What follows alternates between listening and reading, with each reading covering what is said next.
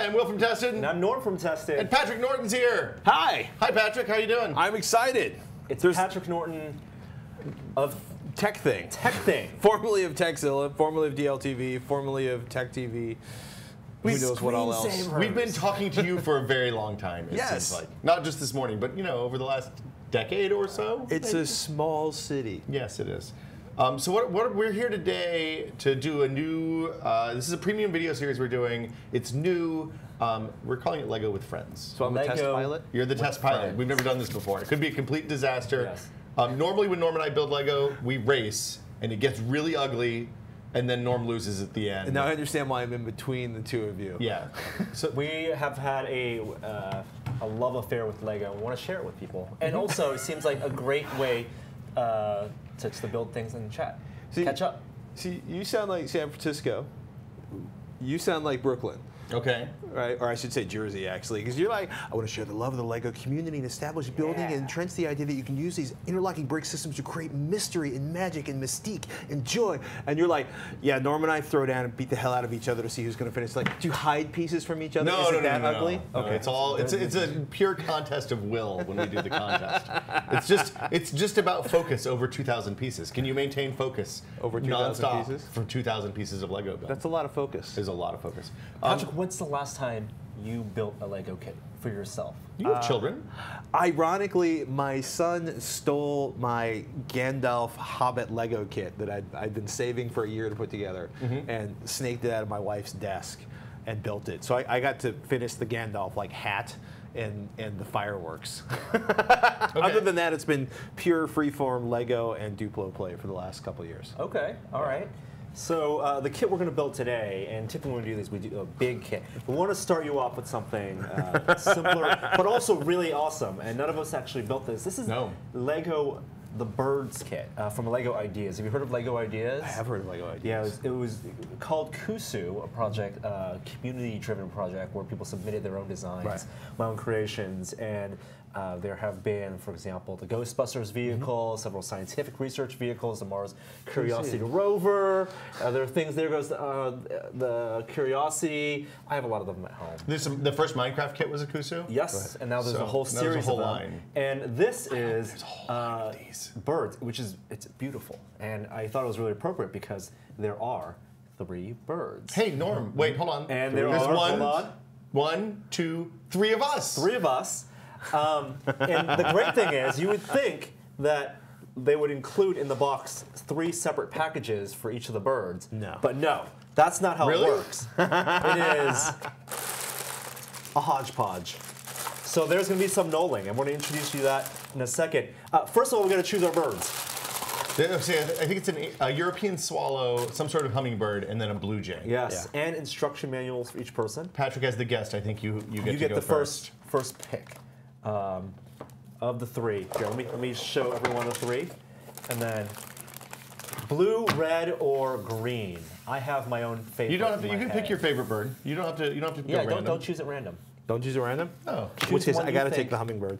I'm going to be vile and take the hummingbird. You like the green one? Hummingbirds are rad. Hummingbirds are amazing. Yeah. I'd never really seen a hummingbird until I moved to California. And then they were outside my window and staring at my face. Always. And, and hanging out with the bees in the in the rosemary bushes. Bird. Yeah. Yeah. Like, Norman Chan. Dibs on number one. You're going for the sparrow. I'll take the I blue jay. one. And you know what? I may have been mistaken. They are numbered. So each of these has a number. Um, I'm bag one. Who's No- bag two? No, no, it'll tell you which bag you are on the inside. I like that there's a, a descriptive text about the bird inside the box um, in Oh. three different languages. Colibri thalassinus. You're bag three, I believe, and Will, you're I'm bag, bag two. and I'm bag one. So it's going to be a fairly simple kit. Three, two, one, go! It's not a race. I don't even know how many pieces. Uh, there- It's how are they- 580 pieces all right, told, I how think. they're distributed. The blue jay is known as the dick of the bird world. He's a jerk. He runs the other birds off of the bird feeder. Um, but they're easy prey for faster flying predators such as hawks and owls. So Wow, how come? How are there so many pages for each of these? these are complex builds. The the red bird, this sparrow? bird, the sparrow, has 68 pages of build. This was kind. I mean, for pieces per dollar, this was kind of an expensive kit, as I recall. Right? It was about Um, fifty bucks. Yeah, uh, forty-five dollars. Um, it was released first of the year. I think they're still readily available. Um, I took the Lego that I got for Christmas back and got this instead. wow, what did you, which one? Did you, which kit did you get? for Guardians of the Galaxy kit, which I was not Was super keen on. It was the Prison Break, which was cool because it had. I do not like playset. It was cool because it had Rocket and Groot, I was gonna say, but also a playset. Rocket heavily armed. Heavily armed. Is a good yeah. thing. Yeah, exactly. So we should start building. Let's Okay. Yeah, let's do this. I, I love And- that these kits, uh, the Lego Ideas ones, typically come with some uh, information about what you're building, whether it's you know a, s- a science laboratory. Look at that, popping out with the knife. That is that is a that's a blade. Bro That's not even a knife. So, Patrick, when you build Lego at home, do you knoll? I have never heard that word before. Knoll. Oh, we get it. Well, hold on. We, we get to teach you something. Yes. This is exciting. Everybody gets to teach me something. It's awesome. Uh, knolling is a thing that Adam introduced us that we always used to do before because we, we built Lego. We started building Lego with our friend Gary, who I think you know. Mm -hmm. Um, and I've never uh, actually seen Gary before midnight, but yes. Fair enough. Oh right, oh, right. Um, his his uh, his wife introduced him to Lego, and he was like, "This is strangely meditative and fun." And then invited everybody over to his house to build Lego one day, and we went over and built Lego. And then next thing you know, I was spending a fairly ludicrous amount of money on Lego every year. um, so thanks, Gary and Leah. The uh, the knolling is what we used to call making the brickyard. So when we started, Norm and I built a Super Star Destroyer. Norm built a Super Star Destroyer. I built a Death Star playset. Each of those is like 3,000 pieces. Oh my goodness. So we dumped all the bags out that we could fit on a table and just filled the table with bricks as far as the eye could see. that, it turns out, was kind of a mistake. But it was probably awesome until you realized you couldn't find anything. It was very meditative and fun, and you did have a general sense of where things went, but it took a lot of time. So we don't do that for the big kits as often anymore, um, especially in a race so is context. to knoll to just spread all of the parks? to array in a, in a comfortable grid, and I think it's I, I uh, we talked about the derivation of the term with Adam at some point. I don't I don't remember Yes, what it it's, is now. it's. Noel, the designer Noel. uh, John Knoll, right? Not John Knoll. John Knoll John is Knoll's the VFX supervisor Yeah. from ILM. Uh, but Knoll as in the furniture company Knoll. Uh, K N O L L. There's a Wikipedia page Really? uh, for the concept. And basically, uh, a simplified way of knolling is just to separate by the color of the brick, uh, and then however the schema in your head, you, you best parse shapes and objects. um, so I like that each of these birds are, uh, there's a dominant color. Yeah. Red for me, green, no, no, uh, green for Patrick, and blue for Will. And then, you know, it's actually not that many pieces. I think we should should knoll and then evaluate our knolling. this should be an easy episode. I'm having a little bit of trouble with some of these pieces. They're not stacking as well as they usually do. I'm supposed to stack them. You don't have to stack. You don't have to. it's all optional. This is all what makes you happy, man. I don't know. Like- the idea of being able to assemble a kit before midnight without the help of a small child is kind of exciting. Yeah, I, I, as I told my wife, yeah, we're gonna. This is a hard day because these these. It sounds crazy, but we do when we do these Lego builds, we usually do most of the thing in one day. Mm-hmm. Which, when you're talking about 580 pieces, isn't that big a deal. But the day that we built the sand crawlers was was kind of dark by the end of it because like 3,000 pieces, and my fingers were actually raw by the end of that one. Which again, I don't expect sympathy because my wife was at home wrestling with a two-year-old um, but you know the laughter and the derision could have been weren't weren't entirely necessary i think sweetheart Yes, they were. probably It's the balance of the marriage. earned earned and deserved Oh my goodness. Um, How many? Yeah, it seems like Will probably has the most pieces. all right I think so. i have the biggest bird i, I was think gonna say. jays are fairly large We actually watched a blue jay grow in our backyard this last year. Watched it molt, which was really funny. oh did they, they start out a different color right Yeah, they started this sort of gray puffball, yeah and then they start to shed the gray puffiness and turn into their angry blue armored selves. So there's a nest that was accessible and, and close by that you can monitor. And Yeah, we started redoing the backyard, so we pulled down. We had this huge feeder up, so the bird comes by every so often to yell at us about the feeder not being there. so I'll throw some peanuts out in the backyard, and he'll just nuke on the peanuts and distribute them uh, half into his gullet and half into my neighbor's uh, garage. Nice. This is going to be really awesome because he just built this amazing, like, sort of new roof on his garage. And uh, making it sort of match the craftsman exterior of the house, and he's going to find like 10,000 acorns Oh, stuffed in the weird little spots. And He's gonna know exactly why they're there. well, the, so the kid thing, the kid with the birds, the kid thing. My daughter is super into the hummingbirds, which you started on, and I cut you Yeah. off. I think, like the hummingbirds are, like we had hummingbirds where I grew up in Northeast Tennessee, but they were a rare, special thing you see. Yeah. And here they're kind of like we the weeds of the bird world, because I think we have it at different times of the year at my house on the coast. We have three or four different species, um, and of course male and female too.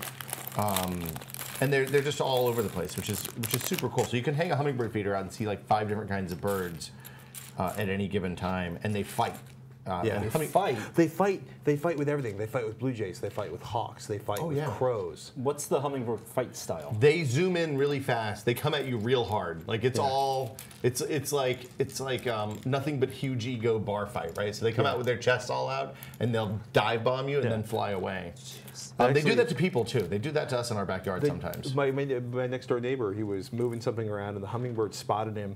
He said he came. He went to like he saw the hummingbird was in his backyard and and and kind of checking out the the last kind of vestiges of a blossom on this tree back Mm-hmm. there, and the hummingbird suddenly. Um, he went to reach for his camera. He wanted to take a picture of it. And as he was pulling his camera around, the hummingbird spotted him, ran straight for his chest until it was about six inches away, Hmm. and then broke right and disappeared. Wow. Well, we we so we have hummingbird wars, and then we also have Hummingbird um, wars Well, the different the different species don't like each other to be at the feeder at the Right. same time. coming soon to Discovery Travel Channel. This is the megala bird. It's a, the world's largest hummingbird. World's angriest hummingbird. So then, Ang- it's Angry Birds TV show. oh, don't even don't even start. Patent pending. Um, so yeah, so the hummingbirds come up and they'll they'll fight. But I didn't realize they make sounds. Like they have a they have they they make if you ever hear a real high pitched squeaking sound, and it's yeah. percussive. Yeah, it's that's hummingbirds. So I, I like this is I was really excited when this Lego kit came out because I like birds. Sorry, I don't feel like I should swap with you. No, you're good. I, I, I, as I mentioned, I literally have my own at home. So So you really have you have a, a, a serious unhinged Lego addiction at this point. now, now when Gina and I build this kit, she's gonna walk up and she's gonna look at the birds and she's, we're gonna do the math in our head, and I'll be like, "There's two, there's three birds, and there's only two of us." But I can give her the blue jay without having lost anything, Wow. Wow. because that's love. That's spousal management, dude. You'd save one for the child. The child. When the this child is ready. Are you kidding? Look at this thing. It is an enormous choking hazard. You can. al- I'm saying when the child is ready. The beautiful thing about about Lego is that when the child is ready, she can disassemble them and then build her own. That's Am I wrong, Patrick? No. this- that's the way to teach your child. Yeah. Yeah. I, I suppose. If you want to play with Daddy's Lego, first you have to take it apart. yeah. He, I saved the instruction manual for you, Starting to so you sound like can a, figure it a out. movie recently. Um, which one is it? Does that? Am I? Hold on. Am I Seth Rogen here? Uh, no. Okay, that's good. Did you want to be Seth Rogen? I don't think so. I think I'm too old to be a man child at this point. One would hope you have children. well, Once you have children, you should stop being a man child. actually, be, having children makes being a man child even more fun because you can play with toys again. Nobody judges you. All right. There's so many. It's always surprising how many different types of pieces there are that go into a kit. The inventory of, of Lego is Well, it's- vast. It's funny if you if you grew up with Legos in the 70s, mm-hmm. and then you check back in like they started in the 80s, they started to get really crazy. But if you if you check out if you had Legos in the 70s, which is basically bricks and flats, and Yeah. and then you you see the stuff now, or you go into the Lego Like, what the store. hell is that thing? Yeah, That's, that's crazy. Where's where th- that one? It's got like stumps on the side.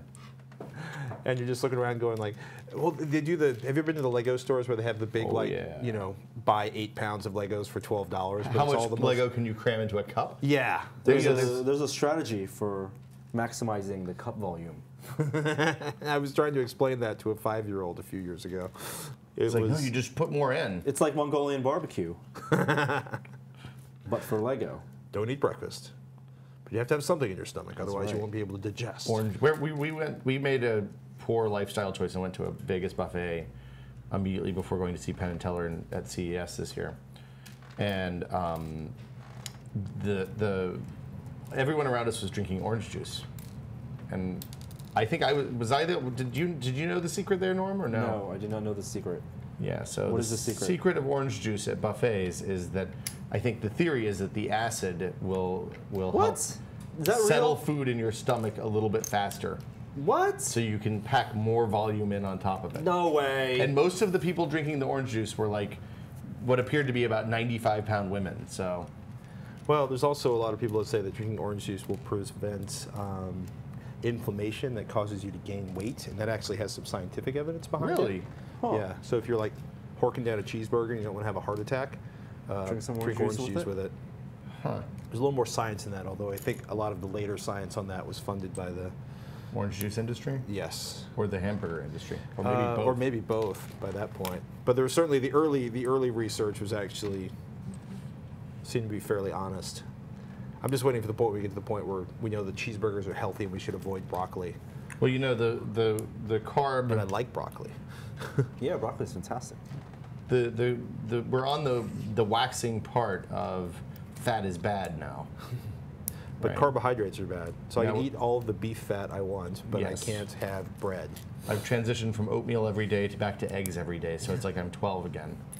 Which I'm not complaining because I like eggs. Who doesn't like Who Wasn't in the, the, the eggs commercials? The eggs, incredible edible egg. The eggs are good for you. Oh, eggs man. are not. Eggs are not bad for you.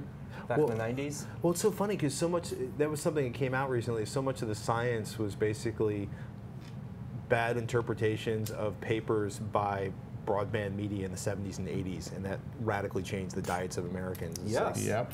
Well, it's that- I guess that's a little more real than my theory, which always was that the food pyramid was a scam put forth by the government in the 60s to uh, encourage people to, to- to, to sustain the American farmer. You must inverse the pyramid. Yeah. Turn it upside down. All right. Uh, Are you done I'm done knolling? with my knolling. Man, I have way Will more- I'm is still taking knolling. his time. Taking my his knolling. time. Uh, This isn't a very, race. very very pretty knolling. Uh, Patrick, you see the Patrick's Will- workmanlike over there. Will is uh, I'm just th- that's that's proper knolling. I'm technique. going extreme knolling here. Um, yeah, Am I I allowed say just, alien I'm just offensive separated by by uh, area, the size and shape and color of the the pieces. This isn't actually a thing we do. We're just we're, this is just a, all an incredibly elaborate setup for a joke, Patrick. be afraid, be afraid. All right, and so I'm going to get started as well with the building. I'm going to be the last one to finish this.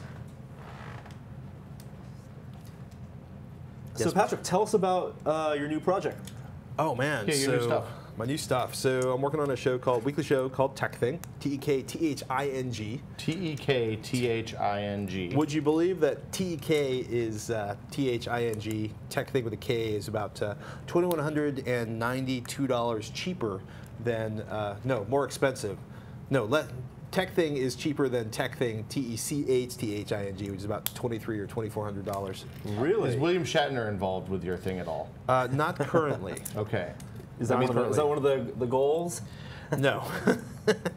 So it's a, a weekly tech Video show. podcast? Yeah, it's kind of like the Mickey Mouse Club for geeks. Okay, I Um, like that. Shannon Morris and I host it. Uh, you know, what are we talking about this week? We're going to be talking about sort of my first drone. The the I've spent a bunch of quality time with three different drones uh, over the last month, including a lot of quality You, time. you mean multi rotors? Quads, multi-rotors, drones. You're right. These are not self-flying vehicles. Well, they can be. If, if they can, if they These are can be. decidedly not. I assure you. Okay. They could be were, were I to put the effort into. It. But yes, I, for one, welcome quadcopters. our new, uh, you know, killer robot overlords. Well, my wife worked on a, a, uh FAA program um, that was setting up the origins of how they were going to manage airspace for drones, for commercial drones a few years ago. Oh. That sounds Um, like an interesting project. Librarians end up in really interesting places. Um, Hmm. I, I, All right. I don't. And uh, I feel like I'm in a dangerous territory with, with, with that statement, so I'm just going to let it go. well, this is also the woman that that uh, uh, is this a family-friendly podcast? Uh, no, well, we're untested. So we're building Lego. We pot- potentially ruined Christmas with the last Lego uh, build we did in ways that we will not get into. Um, but people were profoundly upset about. oh my goodness! People were not upset. Uh, person was upset. Anyway, um, mistakes were made. We then I won't tell you about lessons. the about the the T-shirt involving the learning to be had from the nocturnal habits of librarians. We But I'll can- wear we can talk- we can- we can talk about that. That's very Next good. episode, we can talk about it. the one that's Is that going to be the the blue episode? yes. Yeah, I'm working on the blue episode right now, if you know what I mean. Um, I got a lot of blue pieces over so here. So the format of uh, the show is uh, an hour-long show. No, it's actually about about 25 minutes is Okay. kind of the sweet spot um, where we can do we do a bunch of viewer questions, product reviews. Um, we get hands on with stuff. Um, helping people figure out what they should buy and what they should not buy. and- yeah. Uh, And, how to fix the stuff that they have that's broken. And at this point, the tagline for the show is "We make technology behave," okay, Um, I can get behind that. and uh, you know, it's uh, or at least we try really hard to make technology behave. Technology tends to have a mind of its own. Not that you guys would know that feeling, because everything always does what it's supposed to. Attest it. You, Um, you know, occasionally things fly into other things. Sometimes 3D printers stop working for no apparent reason. It's all good. It's Tuesday. I'm not going to print anymore. That is a thing that happens on a fairly like alarmingly branch. regular that's, a- basis. that's beautiful. Yes. The, tentac- the use of a tentacle for the flower. Is that, that looks like a uh, one of the one of the um, Cthulhu. Ten- wow, you are really building fast there, Patrick. I, I don't really get uh, uninterrupted time at home, so when I get uninterrupted time, I just sort of go into scary productivity mode. Fugue I, state. I have I have a it's it's like a branch. I'm finished knolling almost. well, well, this Your bird's going to be on a spit. yes, exactly. Yes, yes. Roast that. Yes. Very Um, small. But yeah, so it's a lot. It's mostly driven by viewer questions. So we, you know we talk about two-factor authentication for LastPass this week. Oh, that's cool. Um, and there's actually hardware tools now to do two-factor authentication for LastPass. There's So- a LastPass client for OS 10 now too, Yes, right? they just That's came out with a native client, so you don't have to deal with sort of the webby kind That of stuff. happy. Yeah. Uh, if you're not using a, a password manager, you really should consider it. It'll change your life, or at least make it more secure. Well, the thing the thing that I tell people on password managers because I did I switched to uh, 1Password a few years ago because I, I the places that I need that are primarily Mac places, so Right. I went with 1Password because it's the it's the Mac side of that.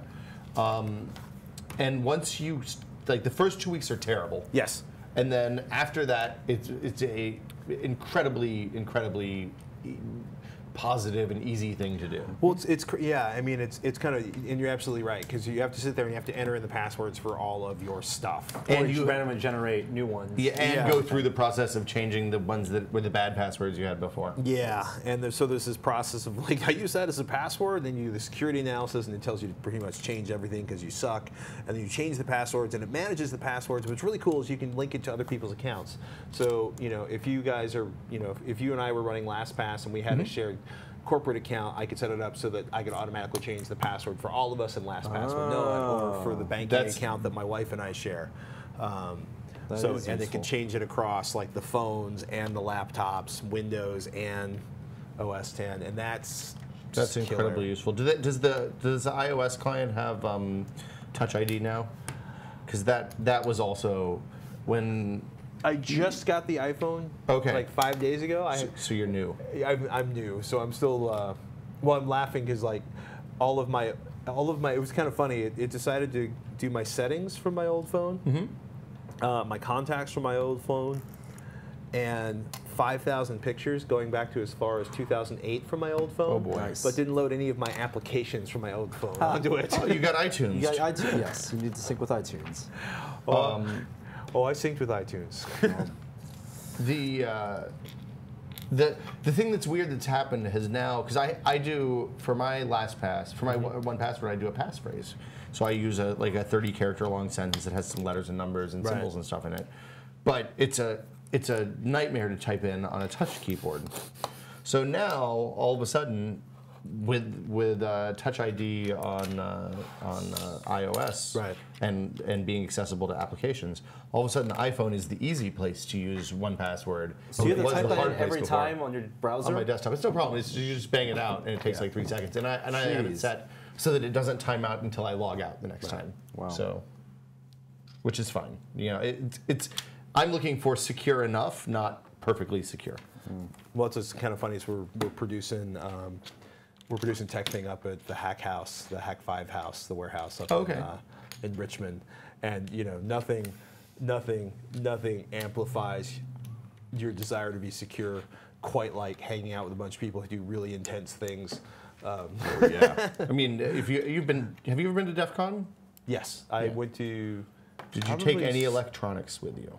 I pretty much, ah, man, my first DEF CON was maybe 98 or 99, 2000, somewhere time around there. Okay. And I literally, I will not turn on anything, I will not turn on a phone pretty much anywhere near DEF CON itself. Um, That seems wise. I will not use any wires, I will not use any ports. Um, Yeah, those US, those USB ports hanging out of the wall in the in the in the cafe. Those are probably not so good these days. Yeah, well, I also I won't use you know I- I won't use ATMs inside of the hotel uh, where where DEF CON is going at. Jeez. Well, it's, It's like it's like going to a foreign country. Well, no, their rules are like they're pretty good about not burning the locals, yeah, except you know. Was it in Vegas? yes. So, Well, imagine so it's it's funny. It started out as a couple thousand people, and now I think it's something insane like ten or fifteen thousand people. yeah, I'm, I'm afraid of it, frankly. I'll Um, You know, be so the you don't well, want to get outed as the journalist either.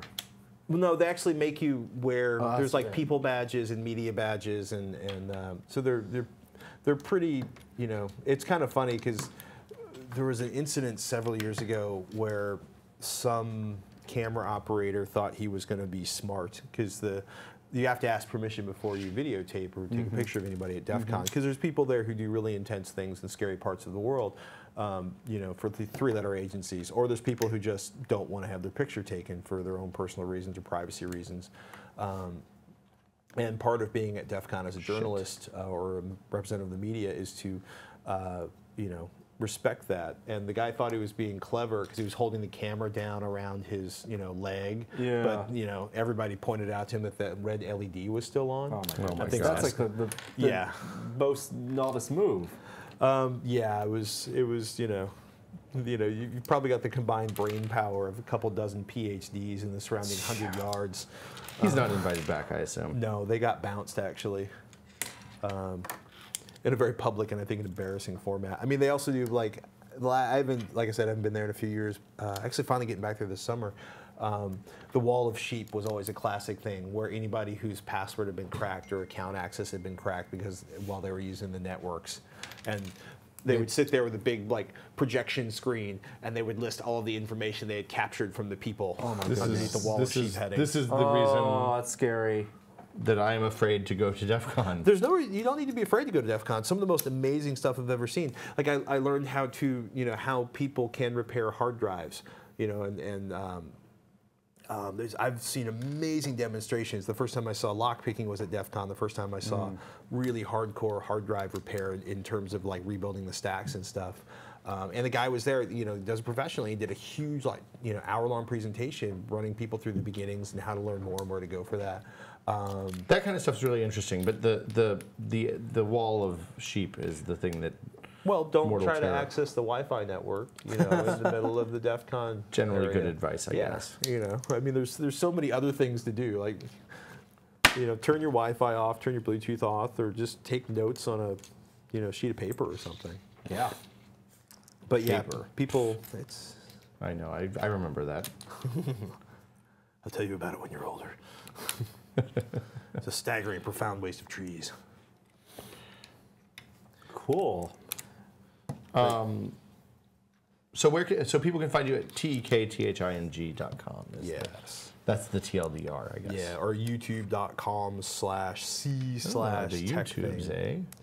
I will post my stuff anywhere people want to watch it. Actually, we're finally putting, we got a Patreon funding high enough to, so we can actually now afford to start an RSS feed and pay a CDN to deliver videos. Oh, cool. So you can get video video podcast style now. Yes. Well, people were like, "Where's the iTunes feed? I don't want to watch it on YouTube." People like, ask "It's us that all the time. We're like, "Do you have any, any idea how expensive that is?" no, thanks. We're cool. Just watch it on YouTube. Use use your browser plugin and rip it off if you have to. That's fine.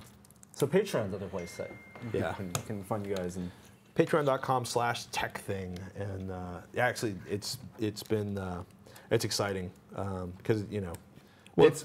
I mean, you're doing something because you have people have the ability to give you money to do something that they want you to do. Yeah. It lets you make that thing do the first two years without having to take money from somebody who's going to then control what it is that you do. yeah or be like you know we need to broaden this out Yeah.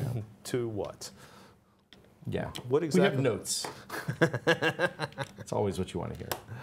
yeah my running joke when i worked at TechTV is as long as they're complaining about my clothing they're not complaining about the content or screwing up the show you know we'd like you in more plaid and here i am still Mission wearing accomplished. plaid oh my goodness. You were the early wave of the San Francisco hipster plaid. Thank you for that, Patrick. Oh, first use of the brick separator. Brick separating. This is Nor something that I never grew up mistake. with. Oh yeah, we should share that. I didn't realize. Have you seen this? i have not seen oh, this Oh, the brick separator. Take two pieces of Lego and smush them together in the tightest way possible in a way that would be difficult to separate them. And then Oh, I'll have to- yeah they're stuck. do i You try the other way. You're, you're, you're good with tools. Just experiment. ironically Do your 2001. There you There go. you go. There was still some fingernail in there, I saw. well It's an assist. It, I, I use every tool in the toolbox, whatever it takes. Get the vehicle back to Mex 1 so we can get it back home. So how much is a brick brick breaker? Brick, Brick separator. Brick separator. It comes with the kits if comes they're the above a certain dollar value. Yes, I have. I have a, like a cup, uh, a coffee mug full of them. So basically, I'm not buying expensive enough kits. Basically, everything over about 30 bucks or something that has lots of flats and singles, like Uh-huh. the, then then that's when they usually put it in. Oh, it's crazy. Yeah. It's it has revolutionized Lego building. no Um, more some, torn fingernails. some of those architecture kits, I don't know if you've seen them, but like the, the beautiful. they're really pretty, and they you desperately need a brick separator in order to make those work. I can see where like a minor mistake in falling waters is going to cost you the rest of the day in separating little flat pieces. Exactly. That's when you just are like, well, this, we'll just make this one good enough. Puddling water. So I grew up. I grew up in the same, same time you did. We're about the same age, Patrick. Yes. And when I was a when I was a wee lad, Lego came in bins and it was multicolored and there weren't kits. Yes. Do you have thoughts about this as someone who has a child, ch- children that are older? My my daughter is really into Duplo. What is Duplo? Duplo is the big fat Lego. Yeah. Like the Lego for it's Toddler non, Lego. It's non-choking hazard Lego. Starter Lego. You, can- Okay. you can give it to them when they're really little. Like we gave, I think, I think my daughter got her first uh, Duplo set at Christmas when she was about a year old. And at first she just kind of like bang them together because they make a good noise. but now she's actually assembling them into stuff, and, and which is amazing to me that a two-year-old is Yeah. able to do that. But Well, you always gave two-year-olds blocks, right? Yeah, well- and stacking exercises, and then there's like the sort of hipster toys. Like we have some of these where it's these incredibly beautifully manufactured hardwood stacking blocks that have no sort of, you know, crisp edges, so they have to work really hard to balance them. Oh. And uh, wow. I, Okay, we Do- have we have moments. I haven't seen that one yet. And, the, and if the grandparents want to go nuts, we sort of steer them towards stuff. I mean, my, my boys also have wooden swords too. Nice. Nice. The from the from uh, the Geek Cheek ones or the No, there was a there was a company making them, uh, selling them on uh, Etsy and in a, in a bunch of local stores. Okay. And first we got them the daggers, which got me a lot of really strange looks. I can imagine. Wooden daggers. Well, the one that really got me strange, I, I tweeted out a picture of my wife took of me and my son operating a jackhammer on New Year's Eve. um, um, breaking concrete in the backyard because nothing says let's end this year. This is why I like you, busting up Patrick. concrete. Oh, that was also. Among, among other reasons, but But you know, he, this, this is an experience I would have had in my youth. oh, it's awesome. Like, and, and it's it's it's why you are who you are. My Right. dad hurling me at a tractor uh, with a busted water pump and saying "make it run." Well. I, I knew how to operate a tractor before I could reach the pedals to operate the tractor, right? Um, growing up on a farm helps. It's a useful thing. The uh, the uh, but the uh, um, but somebody was really like, "That's so dangerous," and I'm like looking at the picture. I'm like, he's he's he's wearing you know. ANSI-rated eye protection. He's got really amazing ear protection. He's got gloves on. It was probably an electric jackhammer too, right? It- it's this crazy like Bosch computer-controlled jackhammer. It's like, Nice. yeah, I mean, literally, like you know, you, you look at things and you're like, I don't understand how a, a, a processor could be particularly, and you're like, Really? wow, let's do that again. So you don't have to use your belly to kind of bounce it down? It, it literally like I, I could hold it with one hand and maybe put like a little bit of weight on the other side of it, and it would just kind of do its thing. Um, Oh man. You know, but you know, and he was hand over hand on my hand, so you know, in the picture, so it wasn't like he was like, you know, out of control, six year old with a jackhammer of doom. but somebody was like, that's like a that's like a comic, six year old with a jackhammer. not to be It's like confused Axe with the, Cop. it's like an early Judge Dredd version. The, Yeah, uh, exactly. Um, and somebody was just like, "That's so dangerous. How could you let your child do that?" I'm like, I was running a chainsaw alone with no ear protection, no gloves, no eye protection, uh, in sneakers and jeans when I was like 13 years old. Like, I don't Well, that might be a bit much. You know, the chainsaw. I, I well, chainsaw at six too much. Chainsaw at 13, probably okay. It depends on the Probably okay, 13 year old, yeah. right? But it was it the was. manliest man in tech. I know some 30 year olds that shouldn't be operating chainsaws. I know some 13 year olds that probably should be able to drive. Yeah, I'd agree with that. Yeah, I'm definitely not ready to hand my son a chainsaw. He is not quite ready for that Just yet. get him baby's first chainsaw. They have those. I know. The little Bosch kit at Costco. Is it actually a chainsaw or is it just a toy? Uh, it's a toy chainsaw. Okay. and like you know fake saw and stuff like that which led to a hysterical conversation uh, where a friend of mine was like so he doesn't have any toy guns but he's got a toy chainsaw i was like let it go man In San Francisco, man. Yeah, the toy trucks you get here are toy recycling trucks. They're, they're pretty trucks. awesome and they're made out of recycled materials Yes.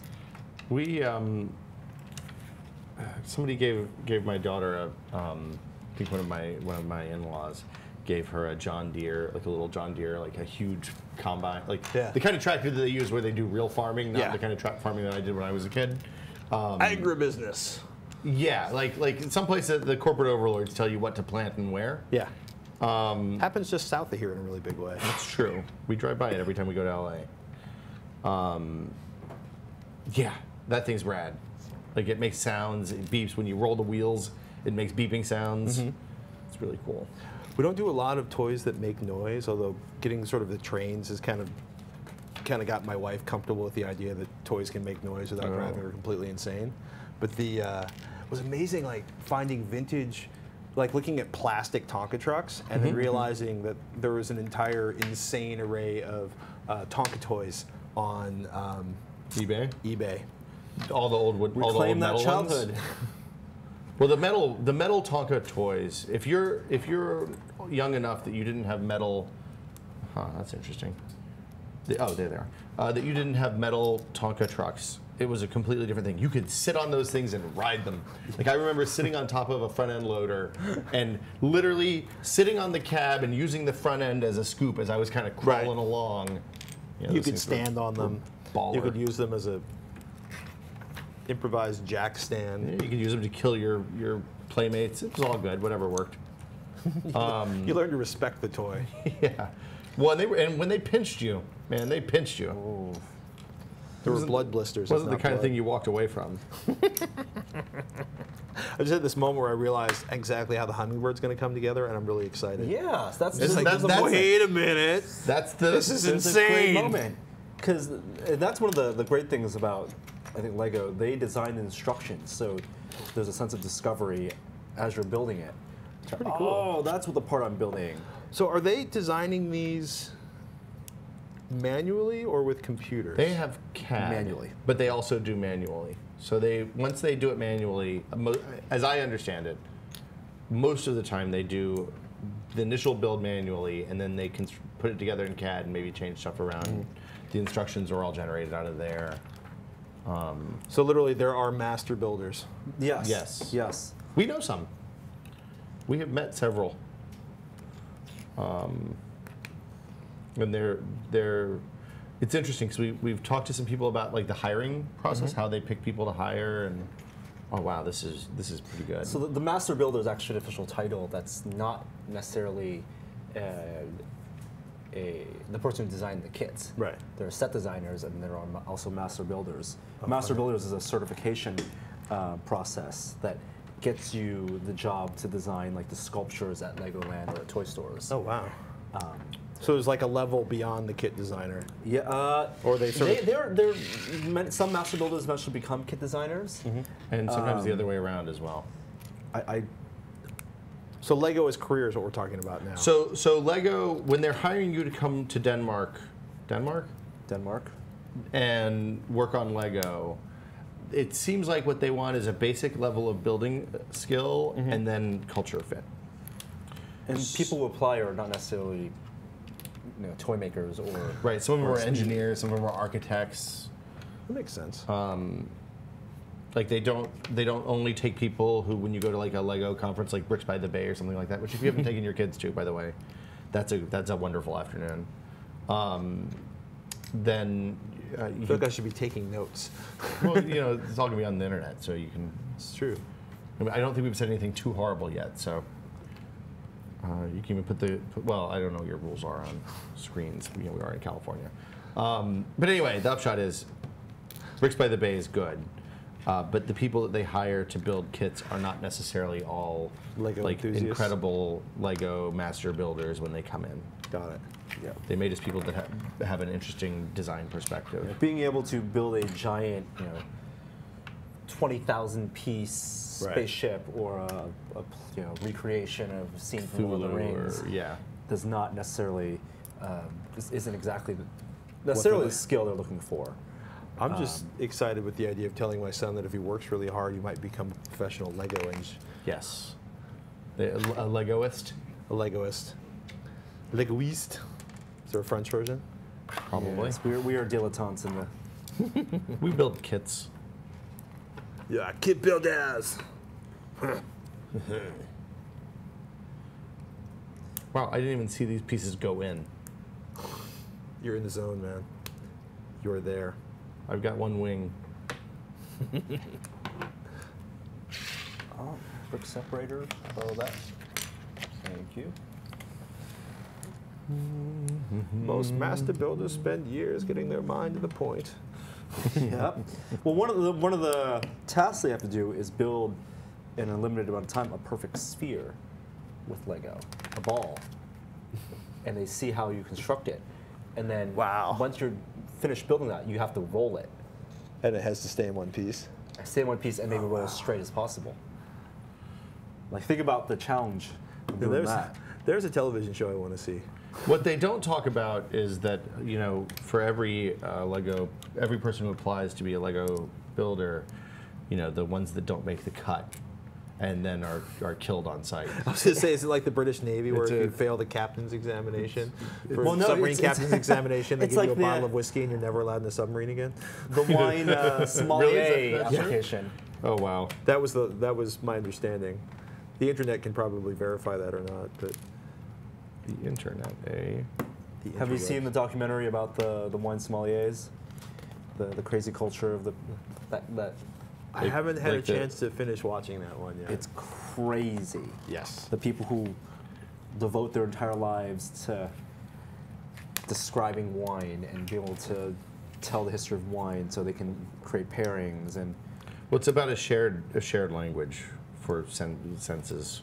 and the, the they have to be creative in how they destri- describe flavor and smells and Yet still be understood by Well, the but yeah, but be consistent with the expectations of everyone around them. This is fresh cut, fresh cut garden hose.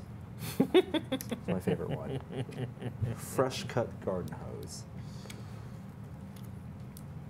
Um, trying to decide if that man made it or did not make it to master sommelier. you know, a little from column A. It's it's in the documentary. I'm not going to spoil. It's on Netflix. Unfortunately, we're in the middle of a multi-season Good Wife episode. Oh, we, uh, My wife is obsessed with that. my show. wife and I went down that hole. it's that that show is much better than I expected it to be for its origins on network TV. The writing is spectacular. It is It's really one good. of the most critically acclaimed shows on television right now. The, Yeah. the- network or non-network. so we're probably midway through the second season now. Mm-hmm. My only complaint is that through the entire first season, it seemed like she always solved stuff because her power was listening and connecting to people. Right. You know how CBS shows always, you always have some sort of power, whether it's that you're really good at math. Or you have psychic powers. Her right, gift was or paying attention. Cool J. right? Her gift was that she can really empathize with people. Not like the other lawyers. Not like the other lawyers. She's not a bad lawyer. And she's been through some bad stuff, man. um, but yeah, it's a, it's a fine TV program. I think we are getting close. I'm Or- or- uh, what are you guys? on the final few dozen pieces, let's say. Yes, Perfect. I'm a little frightened because I have extra pieces. You should never have extra. You should. Oh, you should. Oh no, have you extra should have some extra pieces. So uh, there's also an interesting thing. Um, the way Lego packages uh, these pieces, they don't, they don't. You know, a machine does it obviously, but it's done uh, by weight for some of the pieces, and there is a margin of error that is acceptable, um, and that's built in because those are the sm- and typically the extra pieces you get are the small ones. studs usually and when one I by get one flats. Margins of error in production, I get dead pixels on a screen or something. That's right. This is a little more pleasant. Oh, hey, we have some extra Lego. Cool. Okay, I'm going to build a tree. That's a nice looking hummingbird, Patrick. Thank you. That is insane. Wow. I like the flower. Did you think today you were going to be making flowers? No. Probably. I'm doing. I'm just laughing because we were, you know, we were listening to one of those hummingbird fights we were talking about earlier yesterday. Oh, they're so fun. Angry hummingbirds. They um, they'll we we when we were introducing my daughter to camping last summer, um, we figured rather than drive someplace that was far away that would be a real pain in the ass to go home from when she woke up at three o'clock in the morning and wouldn't go back to sleep, we would just put the tent up in the backyard and then see how it goes for a couple of nights. And the Wise best, choice. the best part of it was laying in the hammock with the baby on my chest and the hummingbird zooming around us like maniacs the entire time. She was going, bird, bird, bird, bird. It was very cute. Yeah, it was one of the things I miss about the place we lived in San Francisco. We panted, planted, panted. We panted, we planted this You know, the pantings. checkerboard of rosemary and gosh, what was the other? What, what did we alternate it with? Something, um, but it was just it was bee crack. Ah. No, no, no. It was Uh, really lavender, cool. maybe? Yeah, yes, you're absolutely correct. Rosemary and lavender, uh, Yeah. about three feet apart, so I could sit in between like rosemary, rosemary, lavender, lavender, um, and just watch the bees move. And when my son got to the point where he could actually be patient, we would go sit out there and watch the bees do their thing, and then uh, and then the hummingbird started coming on. And then, we'll, but when we moved to the East Bay, the hummingbird frequency got much higher than it ever did because where we lived in San Francisco was cold and cloudy, and hummingbirds just went other places. Ah. Um, the thing, if you want to get more hummingbirds, the thing to plant that grows here and is native and is a cool thing to plant, I think it's native. Maybe, that should probably, may, that may not be true. But the hummingbirds like it, is this thing called a bottle brush mm-hmm. Tree. We used to have one in the backyard. And that's that's why you had lots of hummingbirds. because when our bottle brush tree got crushed by a falling tree limb, oh no! the hummingbirds went away. And when I pruned it back and it regrew the next year, all of a sudden, shitloads of hummingbirds again. so, this is scientifically tested. Science. All right. I think I believe I. Oh, I love the the final piece is the the, the big red chest plate, Oh, nice. Which is what really makes this. Oh, you nice beak. There it goes. I'm on the home stretch here. Sorry, And my, I my believe, over yep, the final No. thing is to Have your Lego experience, man. This is California. awesome. Ah, that's right, a sign. I'll get signs. Very nice. And then I accidentally smashed it to the ground. It's Fine, you can put it back together. It's almost impossible to destroy individual Lego bricks. that is not a challenge. That is beautiful. I know how you operate. Probably important to mention this is actually Norm's kit. Is that right? Did I do so? Hey man, what you doing? Fantastic. That's awesome. Oh, look at the look at the claws. Yeah. Oh man, They go, they go around. what kind of bird do you have, Norm? This is. Uh, what is it? Is it an unladen European swallow? No. Uh, they have the, the. It is a European robin. Ah, And then a photo of what it actually looks like in real life. My Latin has gotten so bad. yeah, it happens to all of us eventually. Colibri thalassinus. And then there's French, which makes my Latin seem really good. Fantastic. Wheel's almost done. I'm on the home stretch here. So I'll let, at this time, I'll let people know um, we're going to do this for the rest of the week on the site. We have another kit that we're going to actually collaborate all three of us on Cool. uh, to be revealed tomorrow. Uh, it's an experiment, Lego with friends. You're our first Lego with friends guest, catching up with Patrick Norton, uh, who also is going to be a contributor on, on Tested. Yes. Yeah, so we'll have some some cool stuff, some of your your fun projects they've been working on on, on the site. Um, you have a lot of crazy projects. I, I, yeah, my life. I started realizing it was much easier to write about technology if I was forced to make it run to make my family happy. I realized that when I when I put in the first. Uh, It's like modern home, home improvement. Well, yeah, except I live in a hundred-year-old craftsman home, so there's a lot of really, and I don't think we'll be talking about like installing toilets on tested unless you guys ask I mean- and con Norman Will into it. But the I, uh, I put a toilet in If, before. if there's, as long as there's an automated ass gasket. I just Do you know about the automated ass gaskets? yes, I've seen them in action in an airport. Uh, which was the second most terrifying toilet experience. My first most terrifying toilet experience was nobody. Um, I, under, I, I was I was prepared for like the three of the four variations of toilets in Japan. Squat toilets, no problem. Like everything was good. And then I, but literally like in the first 24 hours, I walked into a bathroom and went to sit down and stuff started moving. The transforming room. Well, I was living in a I was living in a part of New Jersey where toilets moving usually meant you needed to beat something to death.